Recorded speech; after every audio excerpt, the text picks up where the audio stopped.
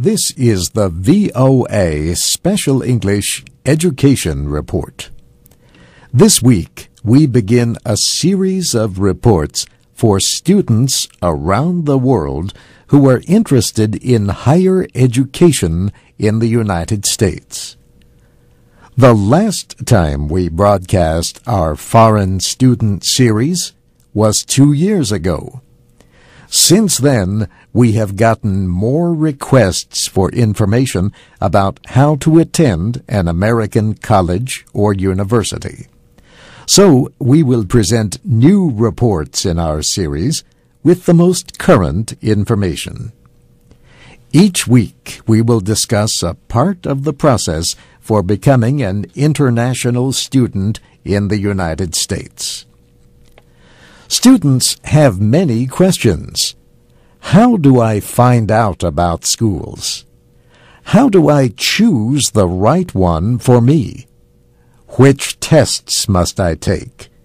What kinds of documents will I need? And a big question, how much will it all cost? Listen for answers to these and other questions over the coming weeks. Our reports will describe the American system of higher education. We will talk about financial aid and rules about employment. We will also discuss English language requirements. And we will tell you where to look in other countries for information and advice about studying in the United States. Our reports will also take you inside some of the colleges and universities in the United States.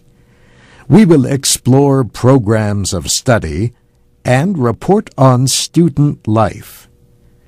Students who are not able to come to the United States will find out how to take classes over the Internet. In addition, we will examine how the threat of terrorism has changed some of the rules for study in the United States. In researching our series, we talked to people in education and government and to foreign students. Planning is important to the success of an educational experience. And that is the purpose of our series to help you plan. We would like to hear from anyone who has a general question about studying in the United States. We will answer questions in our reports.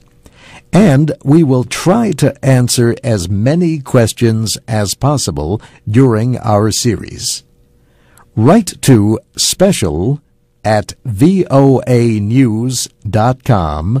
or VOA Special English, Washington, D.C.